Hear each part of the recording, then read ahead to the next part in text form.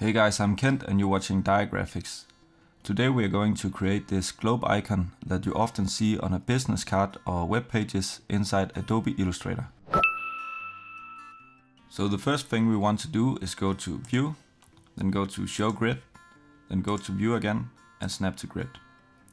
Then go to the Ellipse tool, draw a circle that is one square tall and one square wide.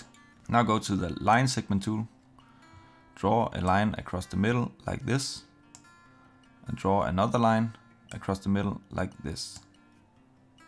Now go to the Ellipse tool again, draw a circle above the other circle that is one square tall and wide. Do the same thing all the way around.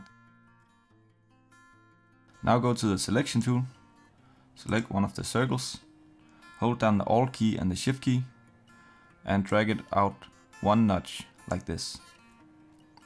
Do this with all the circles around the middle circle.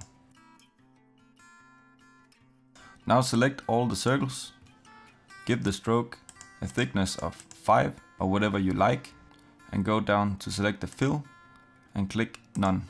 This way all the circles are transparent. Now deselect and select the top circle and notch it down with the arrow key one notch like this. Go to the circle below, one notch up. Then take the right circle and shift it 5 notches to the left. 1, 2, 3, 4, 5.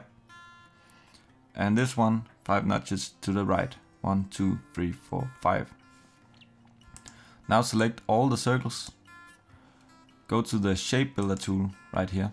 Hold down the Alt key to get a minus symbol next to the arrow. And then click and drag and delete everything you don't want. Like this. Now you have the globe. From here you can scale it up if you want. And you can change the stroke size. And also you can change the color of the globe right here. And this is how to draw a globe icon inside Adobe Illustrator. If you like this video, please give it a thumbs up or subscribe to my channel if you want to see more of these graphic design tutorials. Thank you for watching.